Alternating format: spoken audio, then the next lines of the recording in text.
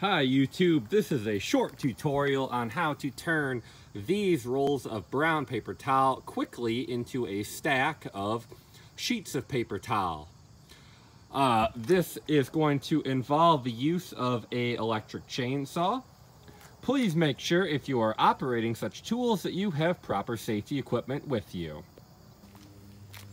So to do this, you're going to want to have a wooden base plate you are going to want to construct something similar to this. I have a uh, probably 2 by 10 or 12 which has a 2 by 2 which is screwed to it.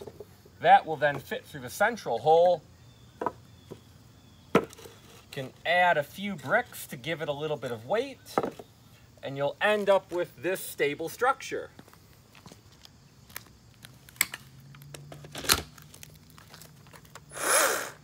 You can then take your saw and cut straight down one side.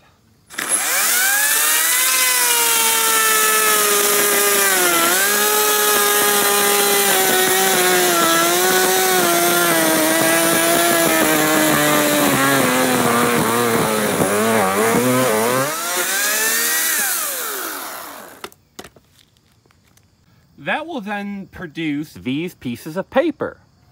Each roll has 800 feet of paper on it.